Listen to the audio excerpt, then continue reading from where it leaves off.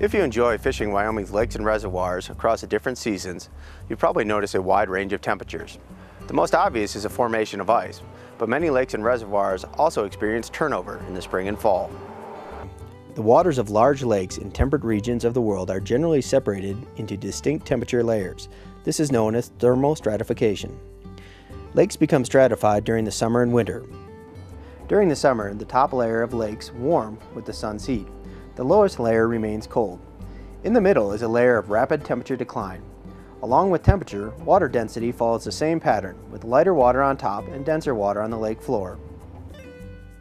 Fall turnover occurs when the surface water begins to cool and sink, aided by strong fall winds, and the lake temperature becomes more uniform throughout.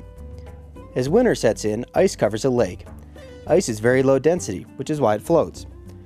The winter temperature stratification results in the coldest water on the top of the lake, just below the frozen ice, and a slightly warmer layer deeper in the lake. As ice breaks apart and wind picks up in the spring, stratification is broken and the waters mix again.